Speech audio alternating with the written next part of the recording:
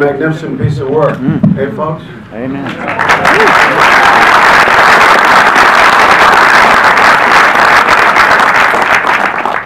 Mel and I are really small, and I think the two of us could probably take this. He, he'd want to be taken. You might be better talking tonight, with all due respect. Uh, It, I was decorated in 1969, and the very next day uh, was the uh, biennial Medal of Honor get-together in Houston. So they they flew us out to, uh, to Houston, and that's where I met uh, Desmond Doss, the day after I was decorated. And at the time, he was 20 years younger than I am now. And I thought he was the oldest guy who ever lived when I met him. Uh, and I knew him for 35 years until he died. Uh, I think you got him, you captured him, all the quiet power of Desmond Doss, quiet spoken power, I think you granted. That's, that's Garfield. That, that, that kid is great. He, he did really, uh, um, I don't know which way it went. I don't know if Andrew sort of found Desmond or Desmond found him. I think there was a little of both going on. So, uh, because I think what a person does, um, whatever he does, good or bad, sort of clings to, to what he leaves behind. So Andrew picked up on that magically somehow and uh, was able to sort of portray that. How'd you get involved in this project in the first place? You weren't out there mowing the lawn and then came up with the idea to do this. How did that work out? No, it's mine, and mine picking my nose. No, Bill Mechanic and David Permut, these producer's been riding this Bronco for about 16 years, and they um, actually had given it to me 10 years earlier, and I didn't want to do it. And then, then they gave it to me again, and I sort of went, "Ah." but then the third time I looked at it, it just kind of got me, went through here and up into my head, but I saw it all of a sudden, I thought I could lend my talent to it, but, um, uh, so. Well, it was off we went. magnificent. I, I'm something of a scatterbrain, so every time you say something, I think of something else. And it reminded me of some, some of the early, earlier scenes. Vince, how did, did you make up some of it? Was that ad-libbed, a lot of that funny stuff, or? A lot of it was in the script. Um, I had a really good writer, I think Andrew Knight, did a good pass at that with Mel. Um, and then Mel had some good ideas and gave those to me, and then some of it I did improvise. I had some ideas as well, where I'd come with some things and say, well, what do you think of this, and kind of play around. But the, the foundation of it was in place um, for a large part of it. But uh, we always kind of kicked it around and see if we could come up with other things that made sense. Yeah, you do two, you do scenes many, many times until you finally get the way you want to get it, or what? Well, you do some sometimes. I mean, this one was a little bit unique because it was very ambitious, the undertaking what Mel accomplished in the movie. It's really an independent film. There wasn't a lot of backing, so a lot of the battle stuff, which is just spectacular, was really rushed. I mean, the uh, battlefield itself was not that vast, although t- to see the movie, it feels very much so. But um, you know, definitely we'd have time with some some scenes to work and to do stuff with, and I don't know. I felt like maybe if there was more time, there would have been more playing, but it, it turned out for the best. I, I think this is something people who are not in the business always want to know. And, and this is for all of you, but I'll ask Luke, how did, how did you prepare for the role? I mean, how did you get into it? I mean, it's um, it's different for every actor. Every actor has a different process that way. Mel's obviously got his process with putting it together, but for me, there was a real, obviously, a physical aspect to it, and not just being physically prepared to run around the battlefield for 10 hours a day for two months, but also that kind of idea that happens when you prepare for something physically, the mental training that goes into it. Um, but also with my character, he's a he's a tough guy on the surface, but as you see, he's you know he's got some stuff going on at the back, and I kind of delved into at the base, you know, what is a man? Where does that come from? At what point does a man look into another man's eyes and go from saying toughen up to empathizing? You know, so um, but for, for every actor, it's a little bit different, in, you know, including the roles and, and all those different parts. But but yeah, I mean, you just start at the base and build your way up. You know, it's a good place to start. Is the start. How hard did you have to work to dump the accent and sound like me? Actually, I'm not that parrot, so like the start, like I can kind of hear something and kind of repeat it a bit. But um, no, I did spend about about eight weeks, kind of two three times a week with an accent coach. I also spent about a week and a half, two weeks living in Brooklyn, just walking around with the accent, listening to people, trying to become part of the community in that way. Um, but yeah, it takes a bit of work. You you got to get it to the point where when you open your mouth, you're not thinking about the sound. You're just thinking about the truth. So um, yeah, it, it was about uh, eight weeks or so of preparation. But I've read a lot of stuff. I listened to a lot of things, especially you know of the time as well as different cadence back then in those days. So, yeah, bit of work that way. Vin- Vince, you, uh, you played other characters in many respects, not, not, not even similar to this, but in the same sort of vein. Did you, how did you prepare yourself for this? Well, I mean, this you knew you were playing a sergeant, so it was a bit of, I have some very good friends in the military. Um, I have a lot of family in the military as well, so I would, you know, call and just hear different people's thoughts of what they thought that was, and, you know, really just have the material and just kind of, you know, got your head around what the mission was, which was in this case very unique because you were going to take these kids over to, to battle. So your job is really to keep everyone alive, you know, um, form a unit, um, hopefully some real love and camaraderie with each other. All that comes through. I mean, there's no doubt about the, the love you feel for your, uh, I mean, you can see that even in the barracks scene at the very beginning. I mean, everybody who's been in the military knows that some drill sergeant kicks you in the head because he loves you. In the end. In the end, yeah, in the end. Um, Both ends. Uh, But yeah, I mean, I think in this case, it's your responsibility. You're gonna take it very personally. You want these kids to be alive. So sometimes you with young people, you reach them with a little bit of humor, you know, you can drown them out, but you have to be tough as well. And, and then, of course, the nature of the story presented a very unique situation, which is this odd duck that's suggesting he won't carry a gun. So your thought process, does this guy even believe this? Is something he's sort of creating for other reasons, and then it's kind of tragic, but it feels like he's sincere. But that's not a good fit for what we're going to do, so even though I can tell he's sincere, it doesn't seem to make a lot of sense. And there was a documentary and lots of good information about how the guys felt about it, but I think, you know, and Andrew Garfield, who can't be here, although I know he would really want to be here, was just, did a tremendous job. He did, you know, you look at those early scenes with the love story and the innocence that he brought, and then ultimately the conviction and the strength that he had in the battle. Um, it was just, you know, very powerful. I, I remember, uh, Desmond and his wife were absolutely totally inseparable. I mean, they were like, they were like glued together. They, they walked with four legs wherever they went. It was like, it was like a kid's soccer game, you know, you know where the ball is. And that's the, the way the two of them were like. And that's the way you had them look. They were, uh, I think you captured them both. How long did the project take from start to finish? Well, you know, you have pre-production, which is of course like three months of preparation and looking at casting and making sure you got all the cameras and, you know, everybody and the logistics, all the different departments bringing them together, the set design, the special effects, you know what your budget is.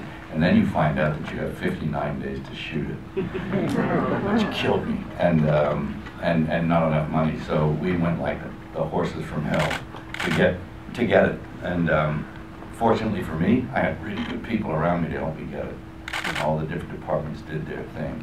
Logistically speaking, the battles, I think, and I don't even know how long we had, it was maybe, I don't know, maybe like 25 days just to do all three of those uh, Really? Yeah, I was marveled at what we would have that day and how we even got through it. yeah. The battlefield was only 100 meters by 75 Where was it? meters. Where was it? In the middle of a dairy farm in Australia. For every combat scene. Those cows are dangerous. Especially when you haven't milked them. One of the technical things that's unique is you couldn't shoot 360, you would see farmhouses behind where you were shooting. So you actually see how Mel's eye works, that he could create that landscape in the way that he did is absolutely remarkable. It's all about angles. It's all about marks and angles.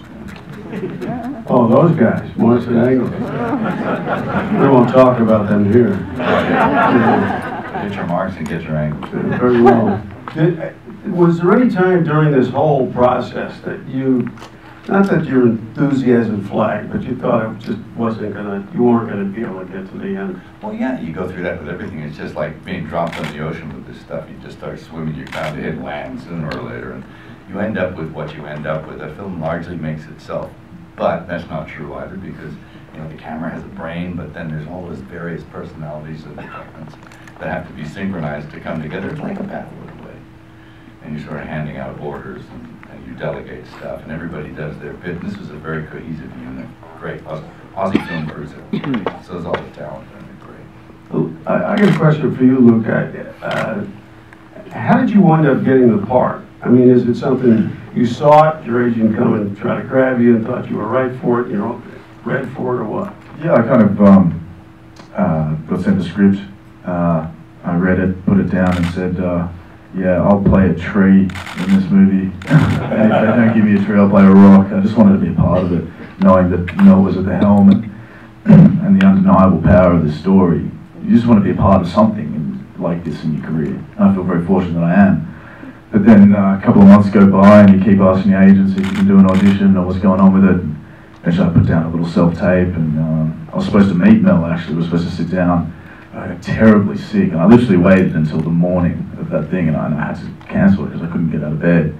And I thought I'd blown it. I was depressed for about two, three days. Just, I, I couldn't believe I'd lost this opportunity in a way. And then my phone rang, and I answered it. I said, "Hello," and you, Luke, it's Mel. I went, Gibson.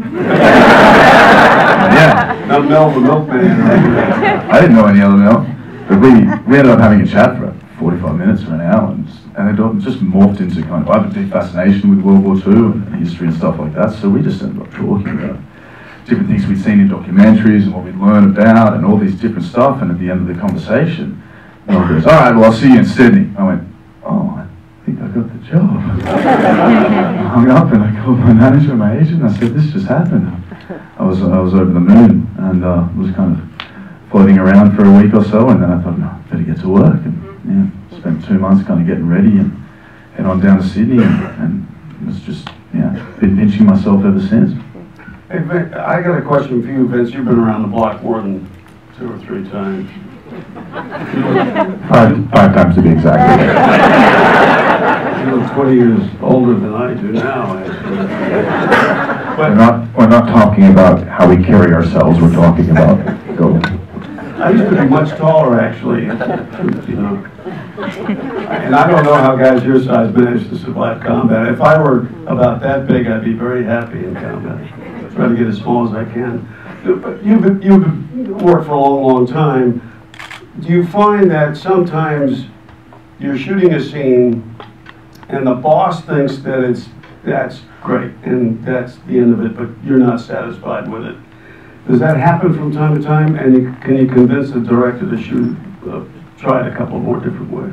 Well, I think there's times where you, you think there's something else there, or, you know, um, sometimes you feel like you've gotten it, and they want something else, that's, that's the nature of, um, collaborating. But in a situation like this, when you have someone like Mel, who's made so many fantastic movies, that Apocalypto movie was on a whole other level, I, I couldn't even, it's like a, you know, pioneering movie, and of course Braveheart and Passion, just incredible. So, he's also such a tremendous film actor, an incredible actor as well, that you felt very confident when he said, I've got it. Um, but he, he had a great nature. We would play around, we would bounce ideas, he would give me good thoughts.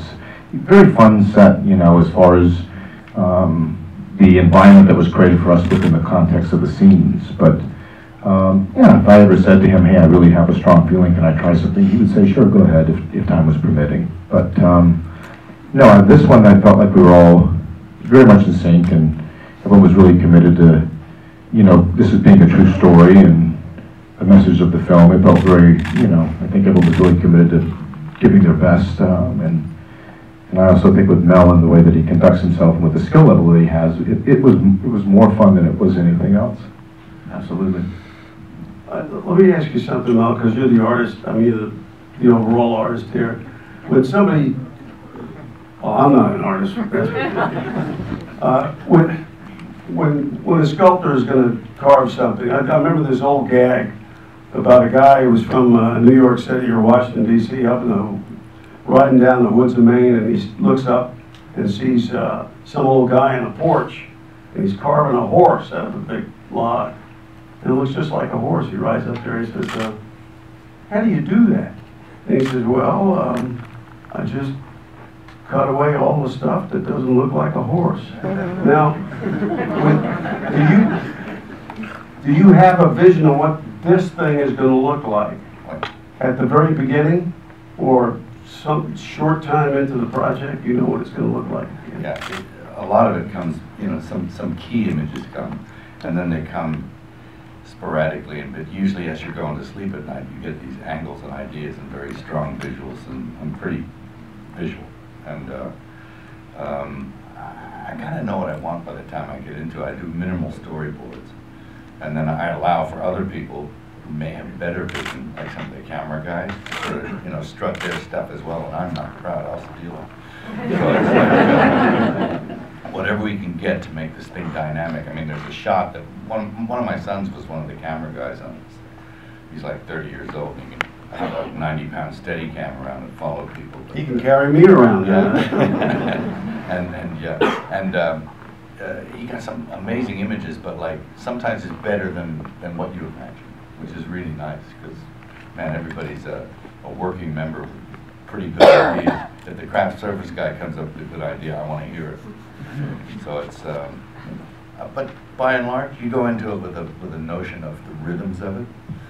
You know, you, I wanted, you know, when they landed in Okinawa, it wasn't like a big beach landing. They lobbed in and it was like, oh, we're a picnic. But it turned out to be like the worst place in the Pacific. Yeah, it was the worst battle, and we, we had more casualties in, on Okinawa than we had in any other battle. Yeah, So, they were tough, it was tough. And you know, you know that they used a lot of napalm, so you had to get into that with the flamethrowers and a lot of bombs and get them out of caves and, uh, and the Japanese called it a steel rain because of all the bullets and steel that were flying around. So, you know, we had to, I, I tried to emulate that in a, in a short amount of time. And, um, so you, you get a pretty good idea. No, I think it came out great. I like your use of hand grenades. I'm firmly, I'm here to testify that, uh, that's the best close-in weapon you can possibly have. Grenade. And since I've, I'm a lousy shot, I'm much better with hand grenades. Area weapons, so they work very well indeed. I read about a Medal of Honor guy who, he ran out, of- he didn't have grenades, he didn't have bullets, he ran out of everything. He just had a box full of mortars.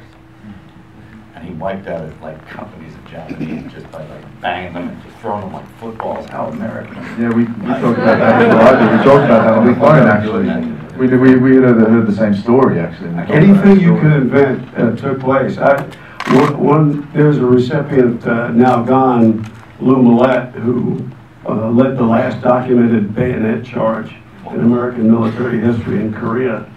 And uh, the guy Mitchell Paige, and I knew these guys, and so did Desmond Mitchell Paige, who, uh, who used an entrenching tool to wipe out the better part of a Japanese platoon Wow. as a Marine. So anything, you can't make it up. You can't, whatever it is, however outrageous you think you can make it, you can't make it up. Yeah, the truth is always weird. The truth is always stranger than fiction. Well, I can't thank you enough. I, I've got some presents for you because you've given us something that's very, very uh, precious. And I hope it does extremely well, as I'm sure it will. I mean, it's a, it's a, it's a noble piece of work. Um, I'm uh, co-chairman of the Medal of Honor Foundation, uh, which supports the Medal of Honor Society, which includes all the living recipients of the Medal of Honor. Some years ago, we came to the conclusion that we're a wasting asset, and um, what we really needed to do is reach into the future because we're not going to be here forever. And we want to do our best as long as we're alive to inculcate the next generation with these ideas, uh, which, which save the country and save the world, as you show in, in the movie. Uh, one of the things we did was produce this book, Medal of Honor Portraits of Valor, available at fine bookstores everywhere. Um, It's a great coffee table book, and it's like in its 17th printing, and it's got uh, photographic portraits of all the Medal of Honor recipients alive at the time we shot it. Uh, and, and their, uh, and their bios. And interestingly, the guy who wrote all the copy, uh, a guy named Peter Collier, was a communist in during the war in Vietnam and decided that he made a few mistakes in doing that and wrote all of this copy, all the bios for free. Um, Uh, Desmond Doss is in there, I'm in there, I have signed them, which reduces their value dramatically. Antiques Roadshow, you, said, wow, this would be worth twenty million dollars, if Jacobs hadn't scribbled in it. I want to give each one of you a, a copy of, of this, so that, um, not that you're gonna forget this, you'll never forget, and we won't either, but that you'll remember tonight. Thank you, thank you very much. Thank you,